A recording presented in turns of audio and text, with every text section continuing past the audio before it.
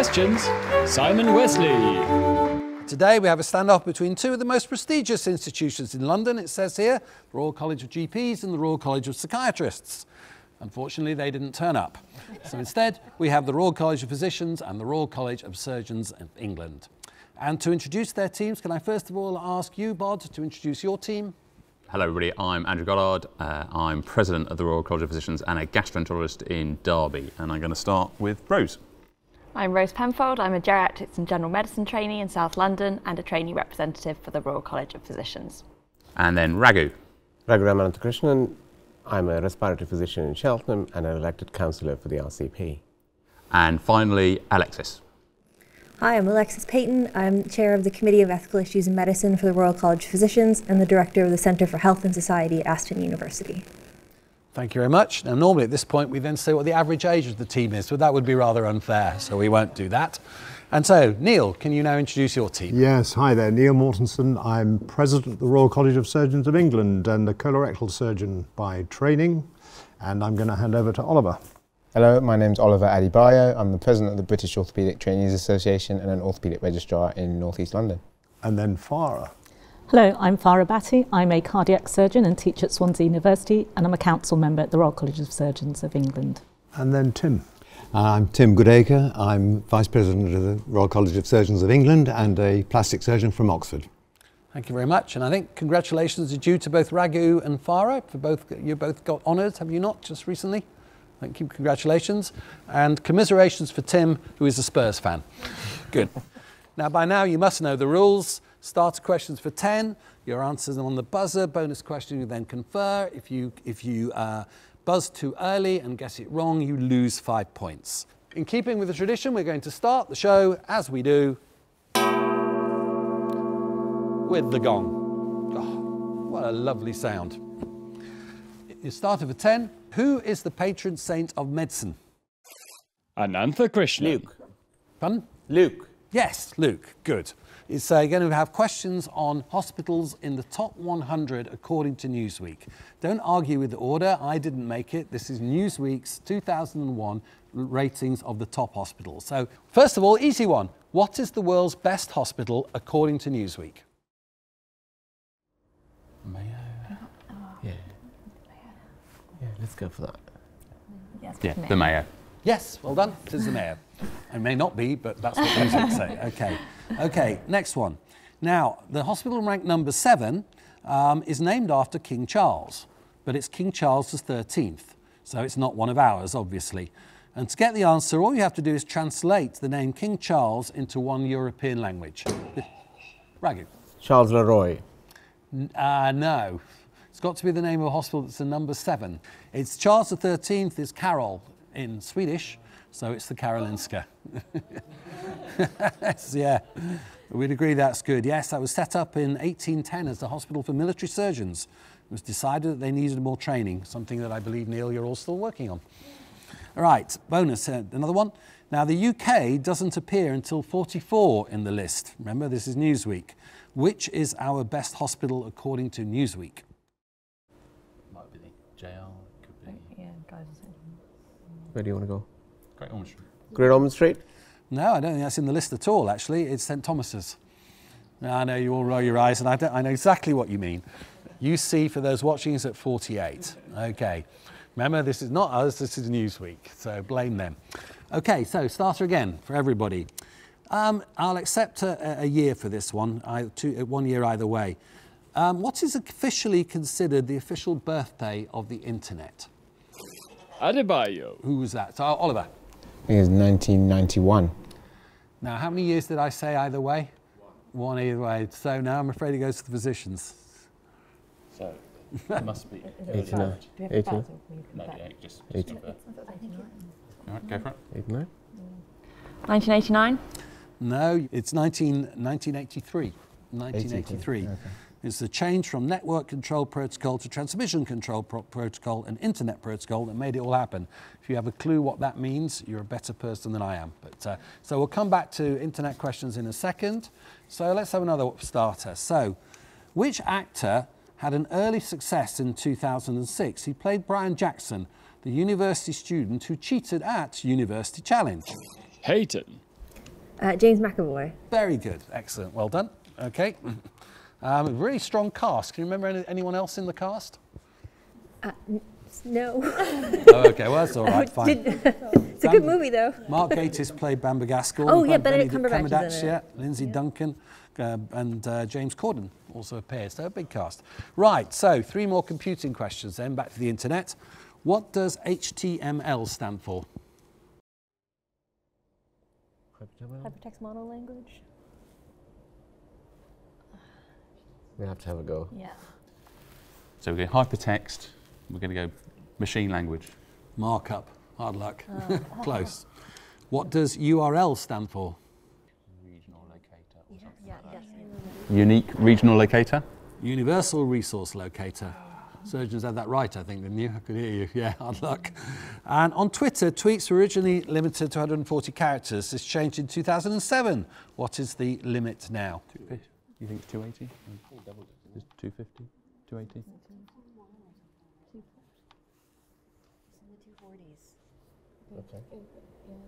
241.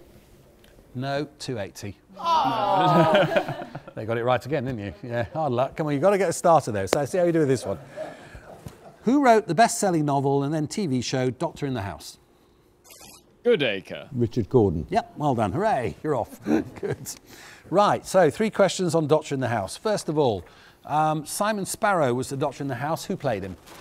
Dirk Bogarde. Yep. James Robertson Justice was the actor who played which character? Sir, Sir Lancelot Spratt. Yes, that's true. Unthinking, bombastic, arrogant, uh, scary surgeon. I'm sure we don't have any of them anymore. Okay. and Richard Gordon was a pseudonym. Name either his real name or what was his real college? He was Gordon Ostlere and he was from Guy's. Uh, no, I meant the Royal College actually, but it's okay. Oh, uh, sorry, okay, Yeah. right, okay, yeah. Yeah, which, what, what was he? Do you know what his profession? Uh, he was an anaesthetist? He was indeed, yes. He was very proud of the fact that uh, his uh, medical student textbook had the best index in the world, and it did, and it had an entry called Blue Patient Turning, which I still think is just the best ever. Okay, good, so, and we're neck and neck at this point. Start of a 10. Which fictional nobleman's name is associated with factitious symptoms? Penfold. Was someone from over there, I think. In fact, three of you went up, so Rose. Um, Munchausen. Yeah, Baron von Munchausen, created by Rudolf Erich Raspe in 1785. So, three more eponymous diseases, okay? Which aristocratic surgeon at the Hotel Dieu is um, named a palmar nodular disorder? Yeah, that's stupid. Uh, Dupuytren. Yep, Baron Guillaume Dupuytren. Um, this American surgeon, whilst working as a surgeon on the Western Front in October 1918, tragically failed to save the life of the son of William Osler, uh, Revere Osler. Uh, which endocrine condition still bears his name? Ameri- American. American, yep. So it's going to be Addison. Conn. Yeah, let's go, go for that. Go for that. Conn. Conn. I'm sorry? Conn. No, it's No. Harvey Cushing. Oh, Yeah, yeah. Very poor. Okay. And um, finally, not many diseases are named after patients, but this one is. It's an infant clotting disorder, factor 9 deficiency. Yeah. yeah, 'cause that's like the other. Yeah, acquired haemophilia. I'll take the Yeah, go for it. surname if you don't know the Christian name. Yeah, yeah. Christmas? Yes. Yeah. Stephen Christmas, 1952, was the patient. There we are. Okay. All right then. So, another starter. Jed Mercurio was once an RAF doctor, world famous for Line of Duty. But name either of the two series that he first wrote. Goddard. Okay, Andrew. Uh, cardiac arrest. Okay, what was the other? Uh, well, the medical ones. Yeah. Uh, Remember? don't- no, Uh, bodies. Bodies, yeah, bodies, very good. Okay. So, a little bit on TV. So, George Clooney played which character in ER? I'm going to hate myself. The rest of them are going to hate you, Andrew. Yeah, but, uh, no, no, it's gone. No one know? No, okay. Do you know, by the way, anyone? Okay. Douglas, Doug Ross. Dr. Doug Ross. Okay. My wife will kill me. Yeah, probably. Yes, okay. Now then, if you draw a line between the Royal College of Surgeons and the Royal College of Physicians, you pass through Doughty Street. that's true. Okay? Why might George Clooney be hanging around number 39? Number 39, Doughty Street. Is it the Garrick Club? No, it's called 39 Doughty Street. No, okay. It's the chambers of his wife, Amal Clooney. So, so yeah, you got that again, didn't you? yes, I could hear. Okay. It's Amal Clooney's sur- okay, uh, surgery, chambers. Finally, right, listen to this one then. Dr. Drake Ramoray is a fictional doctor in a fictional soap written within a fictional comedy. Who plays the character who in turn plays Dr. Drake Ramoray? Yes. Yeah. Matt LeBlanc. Yeah, Matt LeBlanc, who plays Joe Tribbiani, who plays Drake Ramoray. It's all very meta, isn't it? Yes. in, in days of our life. Okay. Okay, right, another starter. Mary Mallon was a cook in New York City. Between 1900 and 1907, she worked for eight different families. She remained well, but seven of the eight families developed which infectious diseases? Goodacre. Tim, okay. T- Typhoid Mary. Typhoid Mary, yes. She was called, so the answer is typhoid, yeah. In those days, um, I looked this up actually, JAMA named her in 2000, 1904. They called her, quote, Mallon, an Irish woman of 40 years old, tall, heavy, and single. Well, there you go. You wouldn't get away with that now, would you? No. So let's see how you do on plagues. Okay, so plagues, right. First of all, Albert Camus is the author of the best known novel about the plague, La Peste. What professional sport did he play? We're going to say soccer, football. Yes, very good. Yeah. Do you know what position he played? Uh, no. He was the goalkeeper. It's often a question about goalkeepers, yeah. He actually said, All I know about morality and obligation I owe to football. Right then, name the Derbyshire village that spontaneously went into total lockdown without being asked in 1665. E- e- Eyam. Eyam. Eyam, absolutely Eyam, that's right. Um, and third, neurologist Oliver Sacks, who um, his colleagues cruelly joke is the man who mistook his patients for a book contract, will long be associated with the book and the film Awakening, linked to what epidemic? With, um, w- w- it was Par- it was Parkinson's. Uh, uh, again, uh, for- we're surgeons. you know. Yeah, I know you are. okay, all right. Because you're surgeons, then I might let you have that then, and you're behind. Uh, encephalitis lethargica, which may or may not be linked to a Spanish flu, but no one's quite sure. All right, we'll let, we'll let them have that, okay? Now, obviously, you know that Sir Arthur Conan Doyle is a doctor. However, he based the character on which Edinburgh surgeon? Anantha Krishnan. Bell. Bell, yes, Joseph Bell. Well done. Okay, so we've got three questions on Sherlock Holmes. Number one, Dr. Watson, which London teaching hospital, according to the, to the texts, in fact, it's a sign of four, I think, did he qualify? Remember, it would have been in the 1840s. Bar- St Bartholomew's? Bath? Yes, he was at Bart's, okay. He was an army doctor, finished his training after Bart's down at Netley. He was invalided out of the army following which campaign? I'll accept various different synonyms for it.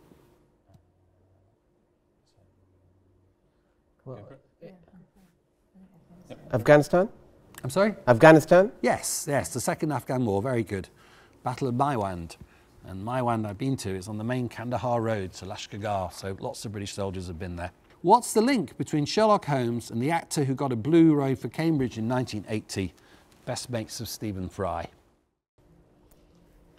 Uh, we, we think Hugh Laurie might have played Sherlock Holmes. No, no, afraid not. You know? Okay, well, he's the character House. Obviously, is modelled on Sherlock Holmes. That's why they called it House for Holmes. So, okay, another start of a ten. Name the inquiry. Dame Janet Smith has chaired many inquiries. Named one.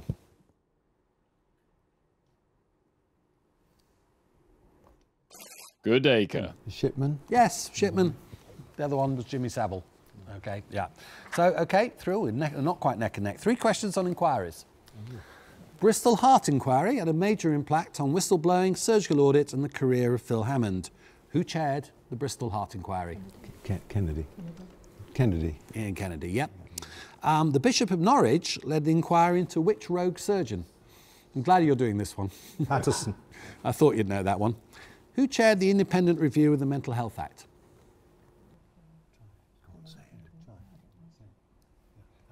Dame Jane Dacre. No, it was me. So you're all disqualified.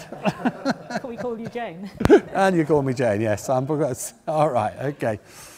Starter. On March the 4th, 2018, what did Alexander Petrov and Ruslan Boshirov allegedly take with them on their sightseeing visit to an English cathedral city? Goddard. Okay, who, who won that one? Okay. Uh, Novichok. Novichok, yes. Right, three more, three more poisons. So, what was injected into the hip of uh, the leg by an umbrella of Georgy Markov when he was walking across Waterloo Bridge in 1978? Ricin. Yep. What did Andrei Lugovoy and Dmitry Kovtun allegedly, allegedly, they got an international arrest warrant against them anyway, supposed to say allegedly, uh, take with them to a meeting in a sushi bar and the bar of the Millennium Hotel in Mayfair in November 2006? Polonium. What did they take with them? Polonium. Yeah, polonium, yeah, 210. What did Prince Felix Yusupov and Grand Duke Dmitry Pavlovich take with them to serve their guest on the night of December the 30th, 1916, at Yusupov's palace? Yeah, okay, yeah, okay, doesn't arsenic. taste. Maybe arsenic, yeah. To hurry you a bit? Cyanide, Cyanide. Yes, very good. Tea and cakes laced with cyanide. And who, is, who are they poisoning? Is it Rasputin? It was to do with Rasputin. Rasputin. Yeah, it was yeah. Rasputin. He failed. They had to shoot him in the end because he was immune to cyanide. Okay, right, starter. Which hospital do sick wizards attend in Harry Potter? Adebayo. That was Oliver. St. St. Mog- Mog- Moggles? Sorry, say again? St. St. Mog- Moggles, I think. Yeah, uh, yes, St. St. Mungo's Hospital for Magical Maladies and Injuries. I'll take that. Okay, three more Harry Potter, Potter questions for you. Okay. Yeah, you need your kids here, don't you? What is the name? In fact, my kids gave me these. what is the name of the school nurse at Hogwarts? Madame Pomfrey. Good, good. Okay, you get that. What medical condition affected Harry Potter's third year defence against the dark arts? No. He was a werewolf, so it's lycanthropy. And now, Oliver, you should get this. What potion regrows the bones in Harry's arms in his second year? Oh. What's it called? Hermione makes it. I just I can't remember what it's called. Okay, Skele-Gro. Skelly Grow. Skelly Ah, Grow. Oh, they I should know Oh, that. All right, another starter. We're going to do a pitch around. The first person who knows what instrument this is when it appears on our mystery display board.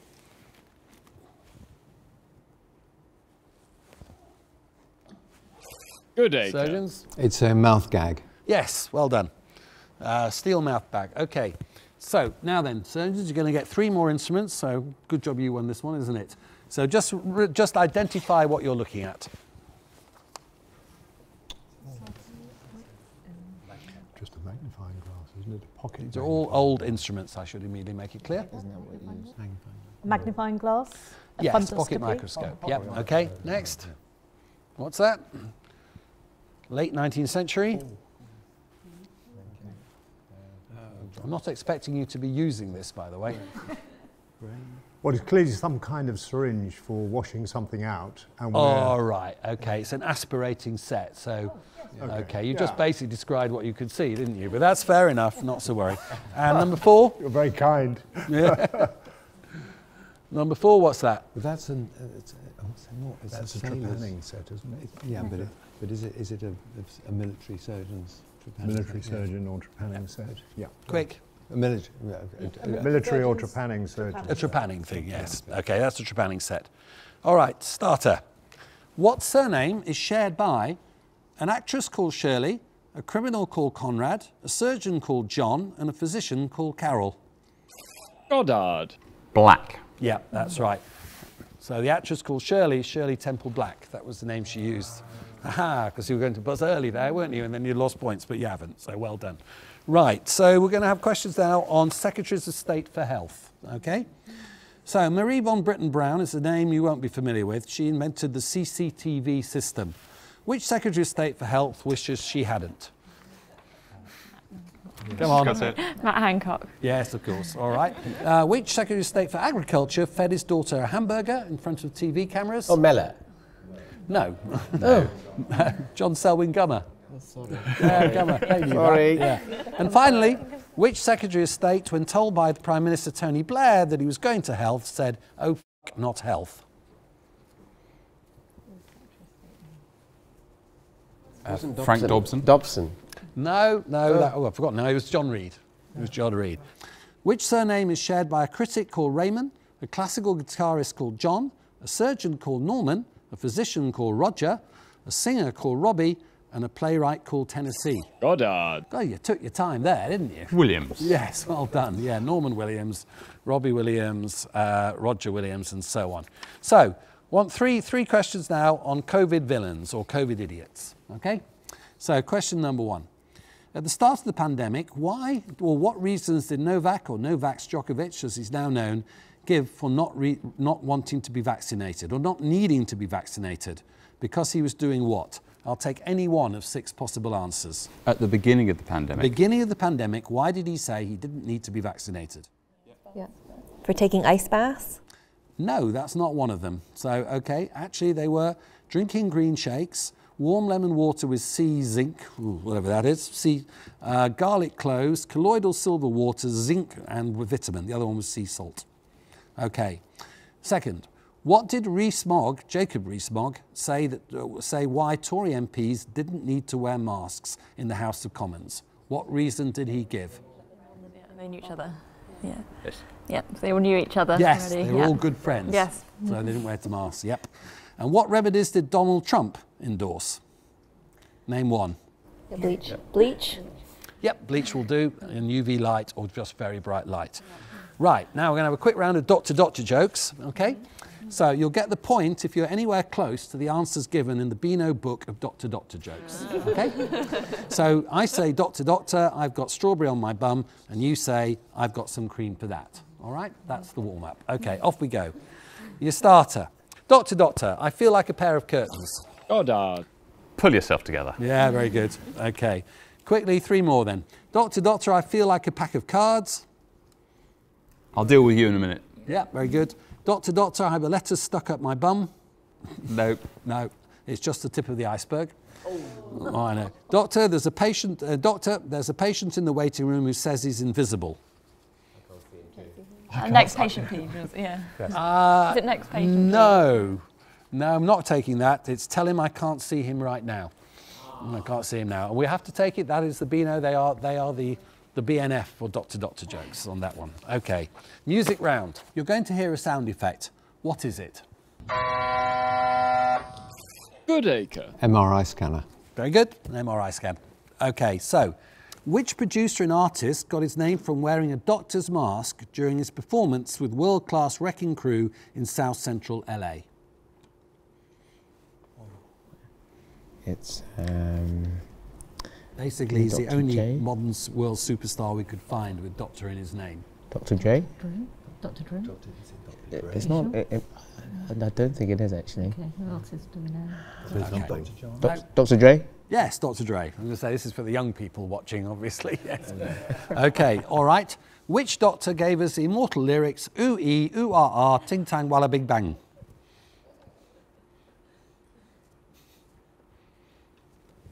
No. Okay, now that's the, um, the witch doctor, apparently, David Seville. And witch doctor, currently very much in the limelight, rose to fame with the Underground song, or London Underground, sometimes called. Played by Ben Whishaw as we speak. Dr. Adam Kay. Yeah, Dr. Adam Kay, yeah. Going to do journeys, okay? Interrupt when you've got the journey. What starts in Chicago, then St. Louis, Joplin, Missouri, Oklahoma City, looks so pretty, Amarillo, New Mexico, Flagstaff, Arizona, don't forget Winona, Kingman, Barstow, San Bernardino, and ends in LA. Bhatti. Who was the winner? Farah. Route 66. Route 66, very good, yeah. Still with the Great American Songbook, together with the singer who um, in Baton Rouge thumbed a diesel down just before it rained and rode us all the way to New Orleans. No, It rings a bell. no, it's me and Bobby McGee, Kris, Kris Kristofferson song. Who rode from Charleston to Lexington to announce that the British are coming? Paul- Paul- 1775. Paul Revere. Paul Revere, very good. And finally, in 2020, Har- Harry and Meghan uh, be- be- began their American journey and ended up as the new neighbours of Oprah Winfrey. In which town? Montecito. Yes. So the, we've now finished. So we have to do. We'll have to do the bong, right? Is that right? Excellent. So, well done, surgeons. 145. Normally that would have been a winning score against most of the universities that compete, but the winners is the Royal College of Physicians with 170. So we'll be seeing you in the next round if there was one. uh, which perhaps there will be. And so, thank you all for taking part. I hope everyone's been reasonably entertained in, uh, in these particularly hard times that we're in at the moment. Thank you.